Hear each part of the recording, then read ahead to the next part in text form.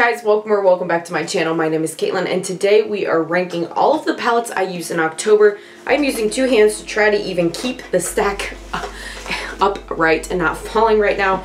I don't know how I use so many palettes in October. I used more than I normally do, but here we are um, and I'm gonna rank them for you guys. So if that sounds good, keep on watching. Before we get too far into the video, please consider clicking that subscribe button. I upload twice a week. It's totally free to subscribe and I would love to have you back on the channel.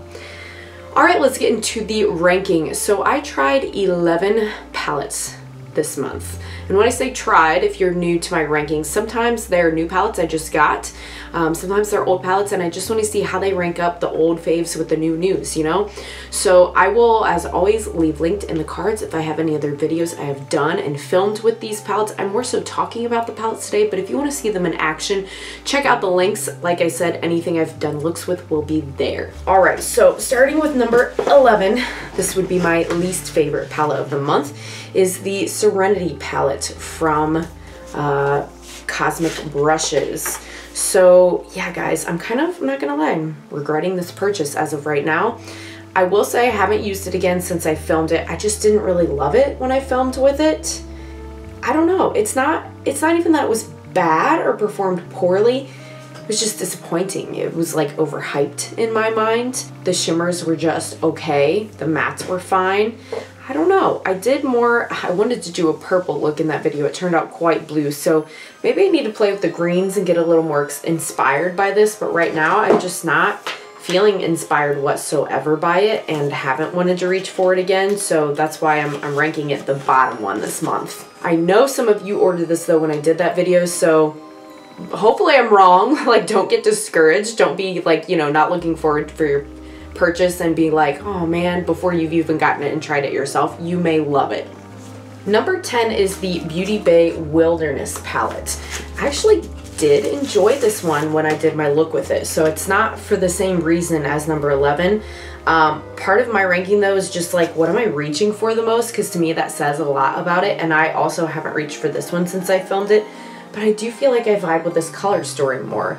Um, I did something kind of like mustardy and greeny in that look. I will leave that linked as well. But I just haven't gone back to it yet again. I'm, I really don't know why. There's nothing wrong with it. I like this one so much that it made me go pull other Beauty Bay palettes that I owned because I remembered how much I liked the formula. I don't know what it is, especially it's such a perfect fall time for this one. I, it just, I don't know. The other ones I reach for it, the other ones I reach for more. I can't really explain it to you, but just out of what I used this month, that one ended up at 10. At number nine, we have from Midas Cosmetics, their, artist, their Artistry Palette Volume 2. Ugh, and do like this one a lot. I just, again, only reached for it once. And it is a little smaller, doesn't have as many options, but it's really nice. Um, this brand no longer, mm, I don't want to say they didn't, they don't exist because it sounds like they are going to come back just rebranded, but they were like closed for a time. So I don't believe you can get this one anymore. But if you do have it, maybe here's your reminder to pull it out and use it some because I did enjoy it a lot when I used it. By the way, I should have prefaced this video with, if you're sitting there a bit like, girl, it ain't even the end of October yet. I, I know, I realize, but it's, it's close enough that I'm like, okay, it's towards the end of the month. Like I have other things lined up I know I want to film. So I wanted to make sure I got this one in because I do love filming this video, ranking the palettes I've used every month. And I promise you, I just, I won't use any other palettes for the last few days of the month. I'll stick, I'll, you know, maintain and stay within these because I have been anyway. So I just won't add, you know, a 12th or a 13th or whatever. I'll wait till November to dip into something new and just keep going into these 11. So that's why it's a little early if you're wondering. In number eight is the Artist Couture Ethereal Bloom Palette. That's actually what I'm wearing today in this look. And that's the video I did um, right before this one. I like this. I think this is nice. I would really love to dip into like the purple and pink and some of the other shimmers. I, yeah, I had a great time working with the, the formula. Very nice. I do love the packaging on this a lot. The fact that it's like a magnetic clasp I don't know, it just feels a little more luxurious rather than just regular plastic. I like the ombre look of the packaging. This is, yeah, I just liked it a lot. The only reason it's not ranked any higher is just because, again, I've only used it the one time. And even though I liked it, I haven't reached for it again since. And I just like the other stuff a little bit more that I played with this month. In number seven is the Not Like Other Girls palette. This is from Saints, Angels, Sinners, and this is, you know, like a quote from The Grateful Dead. And, uh, this one, think I've shown you guys this one before, I'm pretty sure. Purples and greens. My absolute favorite if you're new here, eyeshadows to wear. I like that there's a black that you can make it a little smokier. Um, or I've also done the Skulls and Roses shade that is very ethereal looking if you want something just light all over the lid.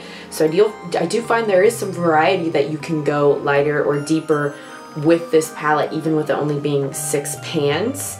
And yeah, Saints Angel Sinners just it's a really, really lovely, lovely formula. I haven't met a palette from their range that I didn't like. So if you haven't checked them out, they're on Etsy. You can find their Instagram page.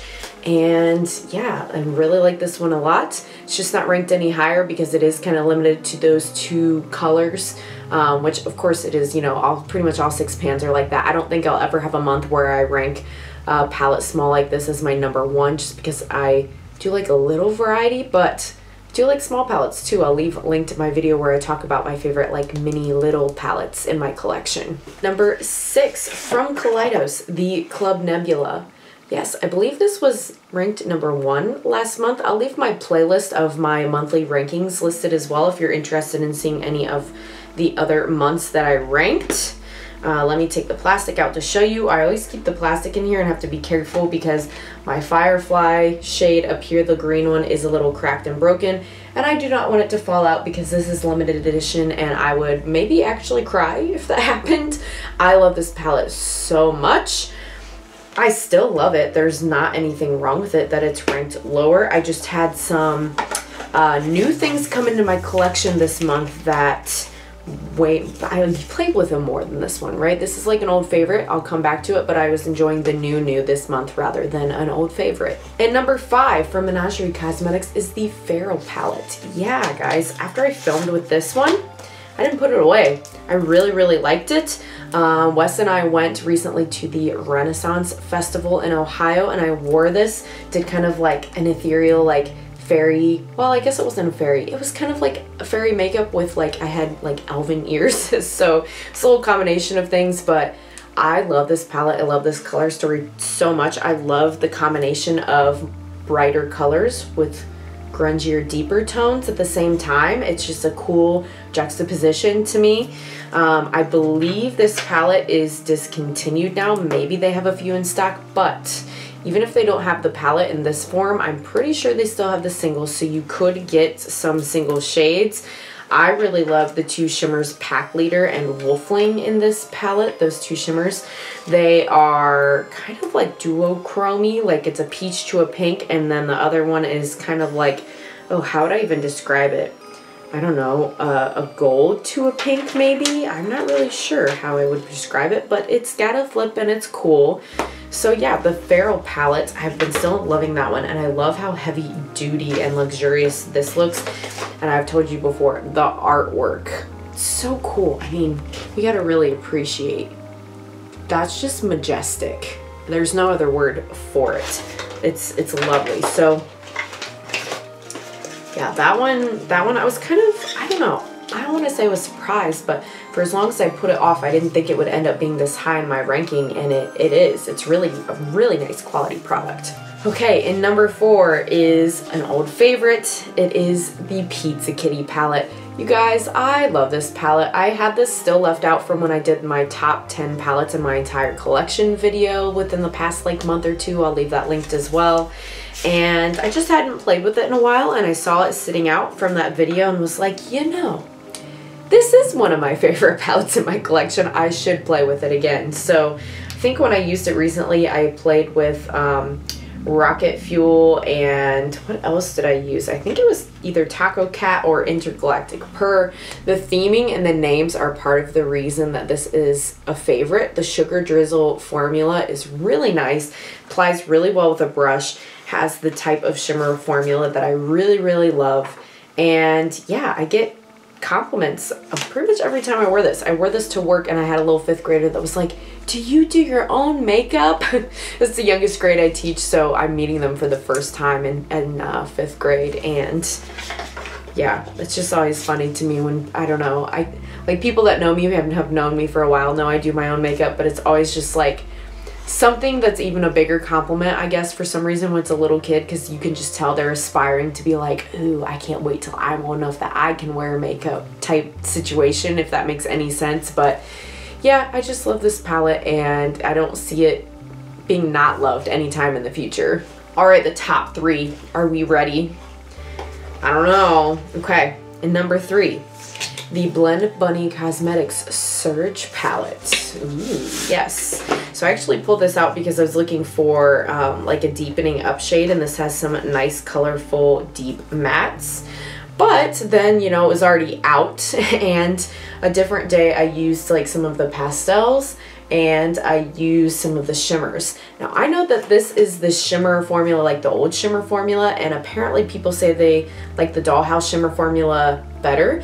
And I think she has said that when she gets rid of all of her inventory of the original surges and orders more, that she will be updating the formula to be that formula. I don't see anything wrong with this formula. I think it's great for the shimmers, so I'm kind of curious now to try the newer formula, the All Done Up palette she just came out with looks really great, but again, trying to be good, trying not to purchase, trying to wait, hold off, use what I have, all of those things. But I'm enjoying this in the meantime. I think the only row I haven't tried is the neons. I don't know how much I'll actually reach for the neons, I'm not gonna lie, but this all was enticing enough to me without the neon row that I still wanted to get it. But you never know. Sometimes I have a random day like today where I want to play with uh, orange and blue and purple in the middle of October or the end of October, I guess. So it could happen. But yeah, I can attest and, and add to the list of people saying that this seems to be a really, really nice brand. I haven't heard anybody say anything negative about Blend Bunny Cosmetics. Great indie brand. Love this one. In number two, this might surprise you all. I'm not gonna lie. Remember when I said uh, the Wilderness palette made me pull out from Beauty Bay other stuff I had? Yeah, one of those was the collab they did with NikkieTutorials. This palette. Yeah, and I think I had this. I'll leave it linked in my uh, favorite larger palettes in my collection. Yeah, I played with this actually a lot this month. A lot, a lot. Now I can tell this one's a little older than the Wilderness one because I think the shimmers are starting to get a little more dry, a little less putty-like. So I think also in my mind I was like, oh, I should use this because I don't want them to like dry out to the point that they're not usable anymore. Um, and this one also has some shades like Zomer down here, Pinky, that you can use as blush too, which is really nice. Um, and I haven't tried it, but I'm kind of interested to see if like Basic Truth, it's kind of a cool toned-ish, mm, close to neutral color that I wonder if I could use it as bronzer just to get some more purpose out of this. But yeah, this is nice. I love the shimmers. I think my favorite shade in the palette is this all-in shimmer. It looks kind of taupe, but then when you put it on, it's got like some green reflect in it. It's so cool looking. I, I just really love this palette and I know some people didn't like the formula, but it's probably my favorite palette I've ever tried from Beauty Bay, to be honest. I don't even know if you can get this one anymore, but I, I love Nikkie. Her tutorials have taught me so much over the years about makeup. And yeah, I'm just really grateful to have that one. And I genuinely feel like it deserves the number two spot this month. And last but not least, in number one, we'll see who is, you know, my, my real ones. Comment down below if you can think of a palette I've used this month or recently that I haven't put in the ranking yet. And that is this one because my favorite palette this month is the Spooked palette. This is from a brand I've never tried before, which I still, you guys tried to help me in the comments. I know somebody commented because I was struggling to say the name and somebody was trying to help me. Um, and I still don't feel confident in saying it. Like, I need to practice it more. Um, I think it's gourmand is what I gathered from the comments, but I still could be butchering it. I don't know. I will try harder to get it down the right way. Um, but I think it's Gourmand Girls is the name of the brand. I'm sorry if I'm still saying it wrong, but they did a collab with Doodles by the Bunny, and they made the Spooked palette. And I kind of went back and forth if I was going to buy it for a while just because I am trying to limit my purchases. But this is such a cool, unique color story in my opinion, and I love the theming. Guys, I love a themed embossing. Like Nomad gets me a lot with their themed embossing, but they've got pumpkins, they've got spiderwebs, bats, just like Halloween goodness. It kind of reminds me a little bit, speaking of Nomad, of like the Haunted palette, the Haunted Euro palette. They have fun embossings in that one too. I know they have like a tombstone and things like that. But this color story, like, I'll leave link to the video I did with this so cool. I don't think I've ever done like kind of like a smoky pinkish look like that. And I don't know, it's just unexpected for Halloween. Like you still have your typical orange, black, red, like Halloween colors that you would expect in a club. But it was just cool to get a twist with like the pink and the gold and like this like murky matte down here. Very, very cool. I'm pleasantly surprised. I mean, I guess it's not that I thought it would be bad. I just love it so much more than I thought I would. So this is number one this month for sure. And that is all the palettes I tried, guys, in the month of October. What was your favorite palette that you used this month? I'd be curious to know. Let me know in the comments what you have been loving lately. And yeah, it's gonna be, I can't believe it, spooky season over very soon. I feel like like we've just begun and it's already almost over. So yeah, a few more Halloween days and then we'll be shifting into, I mean, it's still fall for a while, right? In the US, we celebrate Thanksgiving before Christmas, so there'll be a little more harvesty times to get into, but I will miss spooky season when it's over. I don't know what I'm doing yet for Halloween actually the day of. I haven't really like thought about it. I know I have work, but I, I hope we are wearing costumes to school. I'm a teacher if you guys don't know, and I do love when we get to wear costumes to school. So yeah guys, that's all for this video. I hope you enjoyed it and I hope to see you again on the next one. Bye!